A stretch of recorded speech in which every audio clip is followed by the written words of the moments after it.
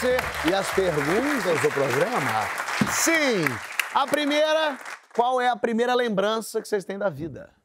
Tanta. Fabíola até tomou para não responder primeira. Ela fez a tática, deixa eu tomar Posso- enquanto posso eles começar? falam. Começa? Eu acho que as nossas lembranças de quando a gente é muito pequeno, elas também ficam construídas a partir de fotos.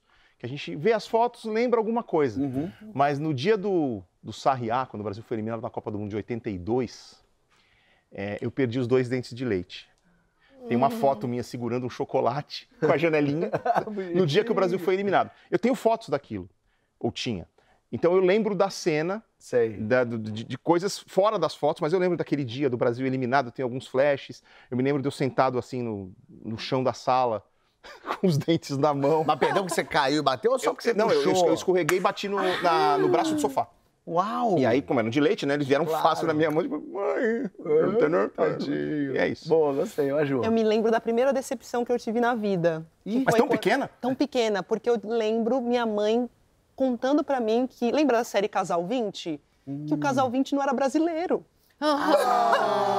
Era dublado e eu. Não, não é Sim, eu quero conhecer eles. Mentiram pra mim. Mentiram pra mim. Tá bom. E eu, eu quando eu, eu morei no Rio de Janeiro pequena, criança, assim, não lá no Cosme disso, Velho. não. É, pra cá, minha família veio abrir um restaurante aqui pra alguém e a gente morou aqui por uns dois, três anos, que foi acho que de 80, 80 81, 83, eu sou de 78, eu era muito pequenininha. Aí eu morei numa rua chamada Pires de Almeida, no Cosme Velho, que tinha uma rua sem saída, que pra mim era aquele olhar de criança, que era gigante. Hoje, grande, já fui lá, é uma ruela assim. Sei. E eu me lembro da, da minha mãe e da vizinha catando piolho na cabeça da gente. A gente, eu e minha amiga Marcela, que eu nunca mais a vi, enfim, mas em cima do banco e elas catando piolho da nossa cabeça. E também lembro nesse mesmo lugar. Quando Elis Ro- Regina morreu, Ah. é um vizinho da frente, ele ficou destroçado, ele colocou a música no alto, assim, e ficava na sacada chorando, e aí eu não estava entendendo, eu perguntei, o que, que aconteceu, minha mãe? A gente acaba de perder a maior cantora que esse, que esse mundo já viu, e que era a Elis Regina, e Uau, aquilo ficou na minha forte, hein? memória. São as duas coisas na mesma rua, e depois eu só vou lembrar, sei lá, dois, três anos depois da minha vida. Tá Eu me lembro do enterro da Elise também, acho que foi televisionado. Eu me lembro, foi Foi. marcante Foi um isso, bafo. porque a gente é do mesmo ano. É, exato. Boa. Vamos lá. Pergunta. Qual foi o último sonho ou pesadelo que você teve?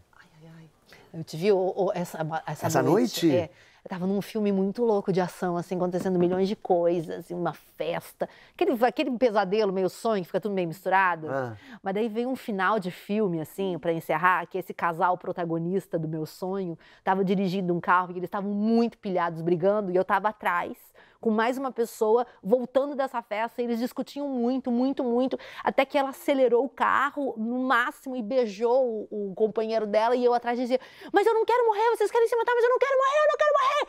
Pau! Oh. Acabou Acordou. assim. Uau. Não, é, nem acordei, continuei morta no sonho, eu- juro, olhando assim, e eu morri. E aí eu falei, não quero morrer, não quero mais morri. Morri, morri. E apareci no sonho com outras pessoas mortas, olhando aqui, falando, não acredito que vocês me mataram. E eles estavam. Mas sabe que pra mim parecia um final de filme, sabe? Aquele Sei. roteiro, aquele, aquele casal apaixonado que se mata e leva gente que não tem nada a ver. Cê- É, tipo isso. Tá e foi bom. muito louco, assim, foi muito realzão, assim, essa Boa. noite.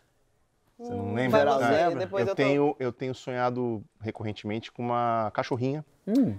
Nossa que a gente perdeu. Ela ficou 14 anos com a gente. Ah. Ela, ela morreu recentemente. Aí a gente ainda tá No luto, É, Assimilando. assimilando. Então sonhei com ela umas duas, Como é que chamava vezes. ela? Vênus. Vênus. Era uma Shih Tzu. E eu sou muito grato a ela porque eu sempre tive trauma de cachorro. É? Medo de cachorro. Uau. E aí, quando eu fui morar, quando eu fui morar com a minha esposa, ela conseguiu me convencer.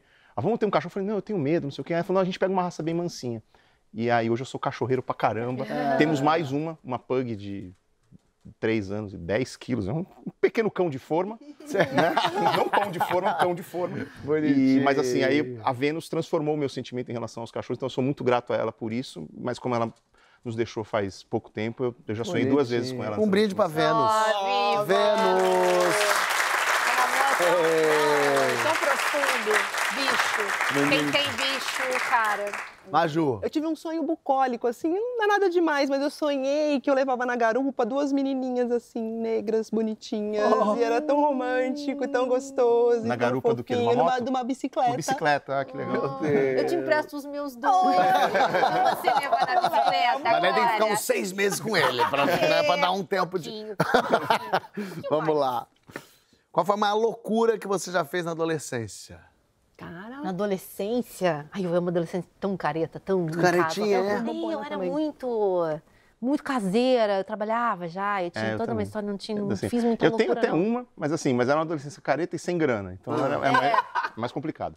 Uma vez eu fui ver um jogo de futebol no estádio à noite. Primeira vez que meus pais me liberaram para ir num jogo à noite com os meus amigos. Porque tinha a promessa de que o pai de um deles ia trazer todo mundo de volta para casa. Porque o jogo era aqueles jogos nove e meia da noite, que acabavam Sei. perto de meia-noite É. e tal.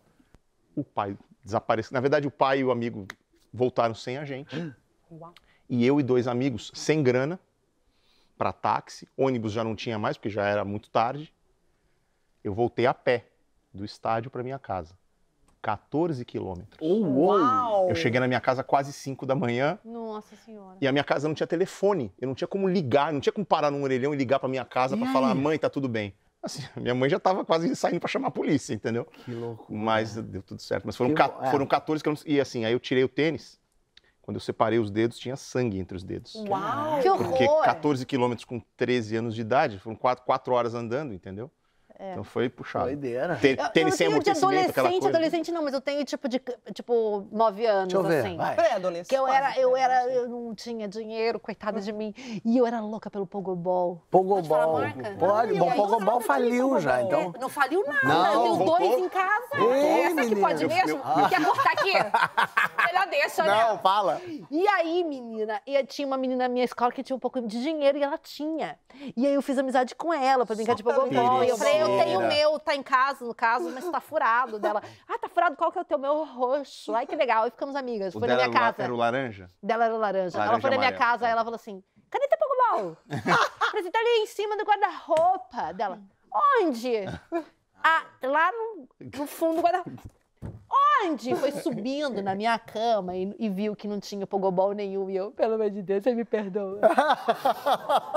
eu nunca brinquei de pogobol. Eu menti. Eu queria ser essa amiga. Por favor, me perdoa. E ela falou assim: não, você é mentirosa. Eu nunca mais quero ver sua cara. Isso aqui foi embora. Acabou comigo. Aí contou pra mãe dela. A mãe dela voltou com ela. Pede desculpa pra criança.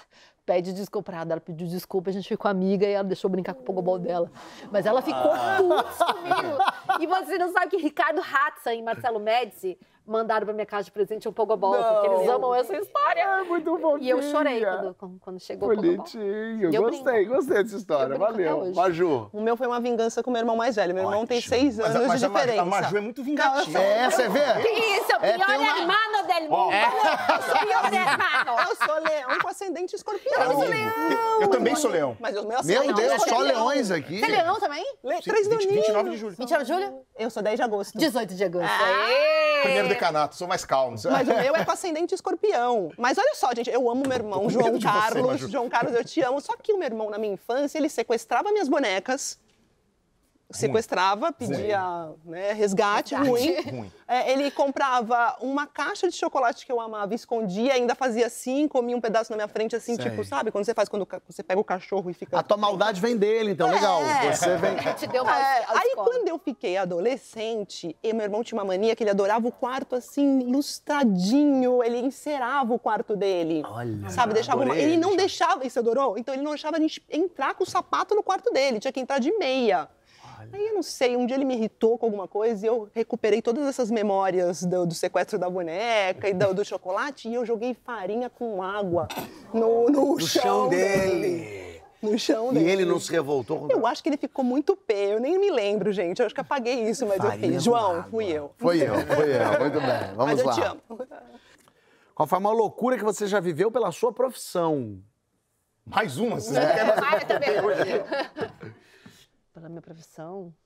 Acho que ficar 20 dias num navio filmando, nem Ah, uma é louca. verdade. Você filmou, né? Isso é. é loucura, né? 20 dias seguidos no alto mar, assim. Porque o pessoal acha que é divertido. Mas é, É, um pouco né? aflitivo. Mas eu acho que ser atriz é a maior loucura que eu acho que pode acontecer, porque é uma profissão super instável e louquíssima e que você tem que estar preparado para tudo. E é o teu corpo. Viver em alto mar. É viver em alto mar. 20 É, dias. é, é, e é você, né? Tá bom. Eu acho louco. Eu assim. Fiz um curso de teatro, Ah, mas assim, para me soltar na profissão. E aí a maior loucura, eu acho, foi encenar com o meu marido é, um trecho de Boca de Ouro, aquele bicheiro do Rio. a peça do Nelson Rodrigues. peça do né? Nelson Rodrigues, o cara super temido, e a gente fez esse ensaio de- dessa peça num antigo apartamento onde a gente morava. No nono andar tinha uma senhorinha e tinha um trecho que era de muita violência, em que eu fazia a mocinha e, meu, e o Boca de Ouro falava: Eu quero que você chame teu marido para me dar um tiro, gritando assim, alto em bom som, e aí chamaram a polícia. Acharam que era verdade. Acharam que era verdade. E a polícia foi lá? A polícia foi lá, a gente explicou que não era verdade, que era um ensaio, mas a senhorinha que chamou a polícia não acreditou. Até hoje, essa Maju aí já vi muito se metida com gente, com o marido do outro que chamava a polícia. Quis salvá-la uma vez, ela não quis me ajuda. Boa. Cara, na Copa de 98, a Copa que o Ronaldo teve a convulsão lá no dia da final e tal, eu tinha 20 anos. E eu comecei a narrar jogos, assim, é, numa rádio comunitária do ABC Paulista. Os caras tiveram a ideia de fazer a final da Copa nessa rádio. Só que a gente não foi pro estúdio da rádio, a gente foi para um forró que botou um telão com imagens do jogo, duas mil pessoas lá dentro É, não vai rolar. e eu narrando para esse povo, com 20 anos de idade. Tremendo na base. Claro, final da E- e- Copa do Final Mundo. da Copa, do jeito que foi, o Brasil sendo derrotado, atropelado tal, não sei 3 o quê. 0. E eu fazia, nossa, mas assim, foi divertido no final das É, contas. mas- E o pagamento pelo serviço, um caldinho de mocotó. Um caldinho de mocotó. Mas Tem caldinho que vale, hein? Tem caldinho que vale. Tem caldinho que tá vale. rindo o quê? E pra terminar, o que que vocês querem escrito na lápide de vocês? Eu vou, mas volto. Eu vou, mas volto. Tá bom, tá bom, Major. Deixei a vida me levar. E a vida levou mesmo. Espero que tenha sido tão divertido para vocês quanto foi para mim. É, e é o que eu digo pra vocês, porque acabou, minha gente. Espero que tenha sido divertido pra vocês. Foi uma maravilha.